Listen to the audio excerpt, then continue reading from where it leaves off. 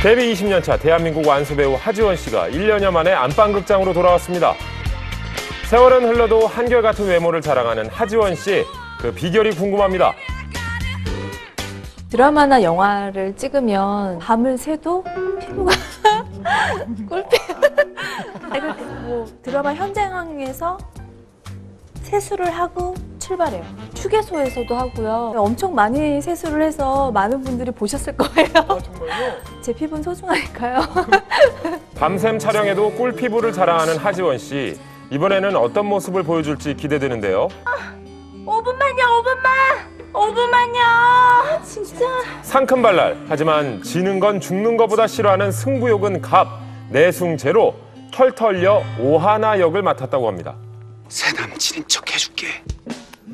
17년 동안 우정이라는 이름으로 오하나 곁을 지키고 있는 남자 사람 최원 역은 훤칠한 키에 훈훈한 외모 이진욱 씨가 맡았는데요. 사랑보다 먼 우정보다 가까운 연애 불가 상태로 지내온 두 남녀의 아슬아슬 미묘한 감정이 우리의 잠들어 있는 연애 세포를 깨워줄 예정이라고 합니다. 성격이 강해서?